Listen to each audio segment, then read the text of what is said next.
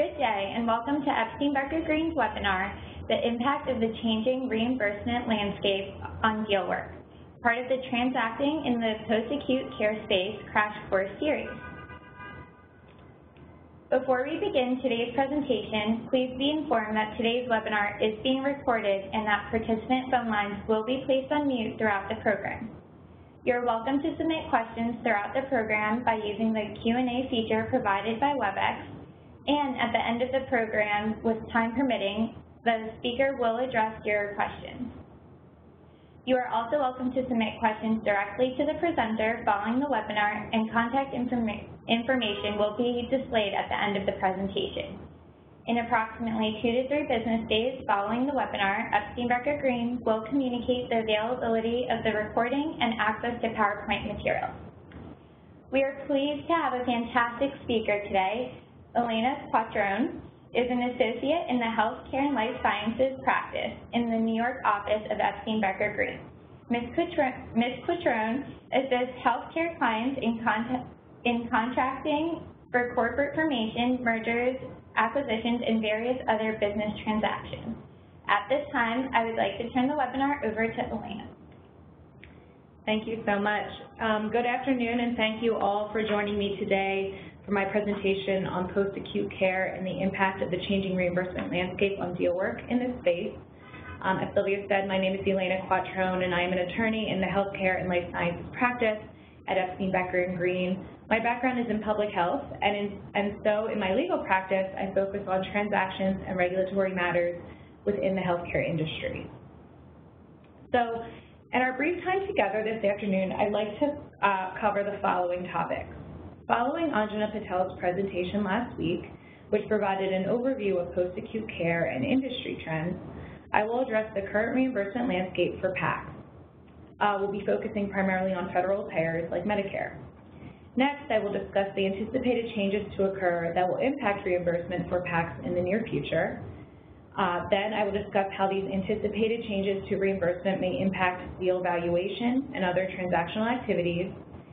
And finally, I will provide some considerations that those looking to transact in this space should consider regarding how these changes in reimbursement will impact deal valuation and other transaction-related issues. So first, let's, I just wanted to provide a brief overview of PACS. So first, what is a PAC? To recap from Anjana's presentation last week, when we talk about PACS, we're talking about these types of facilities in decreasing levels of intensity. Long-term acute care facilities, or LTACs, inpatient rehabilitation facilities, uh, also called IRFs, skilled nursing facilities called SNFs, and home health agencies, abbreviated as HHAs. Moving forward, when I talk about PACS, generally, I'm talking about these four types of facilities or programs. And the types of cases that are treated in the four types um, of PACS may overlap. Because so many Medicare beneficiaries access the services of PACS, it makes sense to focus this presentation on the changing Medicare reimbursement for these services. So in, in 2013, nearly half of all Medicare beneficiaries who stayed in, a, in an acute care hospital required the services of a PACS. But Medicare pays different prices for similar patients, depending on where or how a patient is treated, using four payment systems for PACS services, which is structured in a prospective payment system, or PPS. A PPS is a method of reimbursement in which Medicare payment is based on a predetermined fixed amount. The payment amount for a particular service is derived based on the classification system of that service. In regards to PACS, these payment systems are already established based on the type of PAC that is delivering care. The existing payment system contributes to the increasing costs associated with treating patients for receiving care at PACS and are driving Medicare's determination to change the reimbursement landscape in this space. So in this slide, we're looking at how are PACS currently reimbursed. So PAC spending in Medicare has grown significantly over the years. Uh, for instance, in 2015, Medicare spending on PAC services has totaled $60 billion. So this chart on the slide demonstrates this point. Um, I think we're, we have to go back one. Yep. Um, it comes from a report published in June 2016 by the, by the Medicare Payment Advisory Commission, or MedPAC, which I'll discuss in a bit more detail later on in the presentation, and shows that though Medicare spending on post-acute care has slowed since 2012, there has still been an upward trend in costs for PACS through the years. So there are a number of drivers contributing to this upward trend, such as the growing elderly population, the Medicare population that requires PACS after a hospital stay, and the increasing prevalence of chronic conditions such as hypertension, diabetes, and heart disease. Therefore, there is a desire to, contain costs in this area so this upward trend doesn't continue. So on the next slide, we'll, we'll further look at how PACs are currently reimbursed. CMS pays for services in each PAC setting, as we said, using four different payment systems, uh, units of service, and case mix adjusters, which may result in payment rates that may be too high for certain settings and various payment systems that are inconsistent with each other. So for example, HHAs and SNFs pay more generously for therapy care, such as physical and occupation therapies, than for medically complex care, such as ventilator and severe wound care, which may drive some providers to focus on therapy patients rather than medically complex patients. This may also drive providers to provide unnecessary therapy services to boost payments. The ultimate impact is that because there are four payment systems, the same service performed in different settings is paid for at different rates, regardless of the outcome. This means that patients with similar conditions receiving similar care at different facilities don't always show better outcomes at higher cost settings. Additionally, similar diagnoses do not automatically mean similar functional status, nor do they similarly address co-occurring conditions. And because there's no unified approach to placement decisions, there are wide variations in placement decisions and quality measures with similar patients being placed in different settings with different care plans. Each level of PAC facility also delivers different types of services and have different conditions for admission and regulatory obligations, which means that patients with the same condition can be discharged to different settings, which may lead to vastly different costs depending on where the patient is receiving care. So for example, the chart on the slide comes from 2013 data and shows the average payment per first post-acute care site used. It shows the average cost of care for conditions across HHAs, SNFs, and IRFs. Um, and as you can see, indeed, care delivered at an IRF was 30% higher on average than care delivered at a SNF, and spending for beneficiaries discharged to a SNF was on average more than double that for those who received HHA services. So on the next slide, we're going to look at what changes are happening to impact reimbursement of PACs.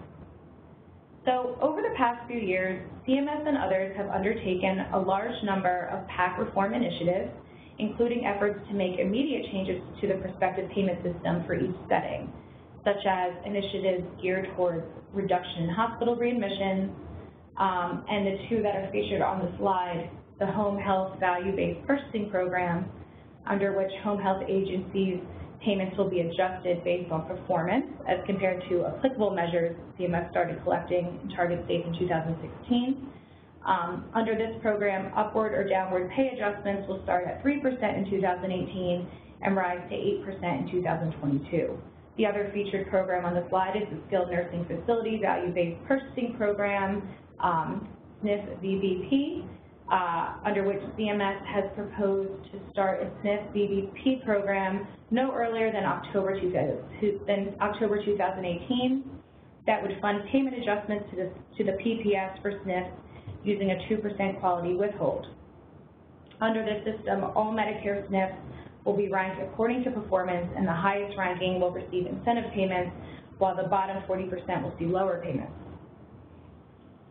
Um, but the biggest change occurring in the reimbursement area affecting PACs is the shift to a unified payment system for PAC services uh, proposed beginning in 2021 with a three-year transition as recommended by, by MedPAC, the Medicare Advisory Commission. So MedPAC's primary role is to advise Congress on issues affecting the administration of the Medicare program, and Medicare administrators and policymakers rely on MedPAC's recommendations and advice and use this information to evaluate services Medicare covers and ways to improve care. Um, the Medicare Post-Acute Care Transformation Act of 2014, which is also known as the IMPACT Act, can be considered the impetus for these changes in the in PAC payment. Um, the IMPACT Act required MedPAC to develop a prototype prospective payment system spanning PAC settings to help contain the cost of payment for these services by tying payments to patient characteristics and outcomes uh, performance measurement. In undertaking the development of a unified PPS spanning all PAC settings, MedPAC considered patient characteristics such as age, reason to treat, comorbidities, and based on this data, predicted the cost of stays for most patient groups. So ultimately, if such a system is implemented, a unified PAC PPS would redistribute payments among types of stays and settings with the objective of basing payment on patient characteristics rather than setting or the amount of services furnished. So payments would decrease for rehabilitation care unrelated to patient characteristics. For example, for patients recovering from hip surgery who receive high amounts of, of rehab therapy services regardless of their care needs, and would potentially increase for medically complex care um, patients with comorbidities that involve multiple body systems. So a unified PAC PPS would result as designed in increased resources for home health to the detriment of institutional PAC settings. Uh, in its most recent report to, to, the Congress, MedPAC identified three issues related to implementation of unified PAC PPS, such as whether the implementation should include a transition period for providers to adjust, whether Congress should consider lowering the level of total PAC payments when the PPS is implemented, and what type of enforcement activities should be conducted to ensure compliance with these new rules, a detailed discussion of these, of these issues goes beyond the scope of this session. However, the point is that there may be some challenges to implementing um, a unified uh, system such as this, and therefore it's not certain how much congressional support a program like this will actually have. But if this still goes through, on the next slide, how will cha the changing reimbursement impact impact deals?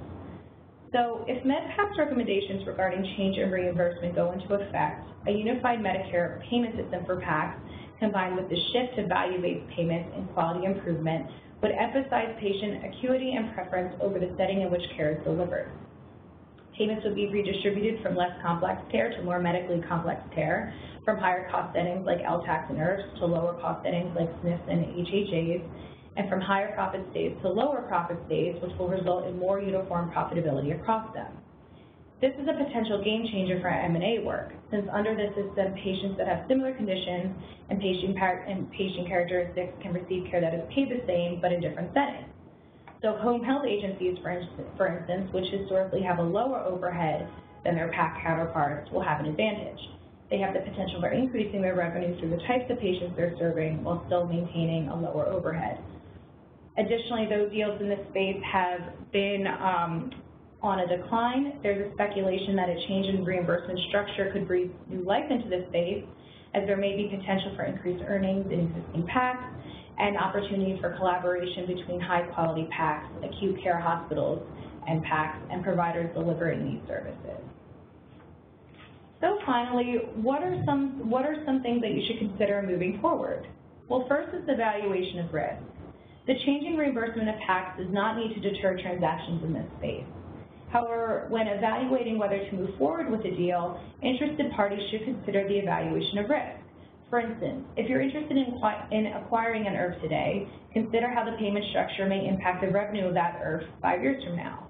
And in calculating that risk, account for that in deal valuation. Um, Secondly, such a change in reimbursement may result in different strategies moving forward, such as collaboration with other high-quality PAC providers through M&A or otherwise. Um, since some facilities may be disadvantaged by this change, it might be beneficial to consider a strategic partnership with, with a provider that would be benefiting from the changes. Additionally, acquiring targets with lower overhead may result in increased revenue potential in the long run. For instance, a home health agency typically has lower overhead costs because of the services they provide and providers employed as opposed to an IRF with higher overhead. However, this is not to say that there are not still opportunities to invest in PACs with typically higher overhead like LTACs and IRFs, since there will still be patients who will require those services from those PACs. Just be aware that the end goal here is about value-based care and making the delivery of care more efficient while still containing costs. Therefore, especially if these changes go into effect, evaluate the risk of investing in a higher cost PAC, but also consider how to improve the efficiency of care delivery in this type of PAC. Um, finally, continue to understand this new payment structure. Uh, under this new payment structure, payments and costs will shift from certain types of patients and services to others. Um, as we said before, uh, medically complex patients with comorbidities will likely receive increased payments as compared to those patients requiring less compl complicated rehabilitation services. So margins may decrease in some areas and increase others. Um, these considerations are all important to monitor when considering the value of a business, both in the pre and post-transaction stage, and we will keep monitoring these changes as they go into effect in the near future. So thank you.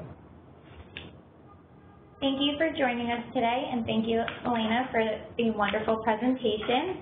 If you have any questions, please feel free to follow up with Elena directly um, via phone or email.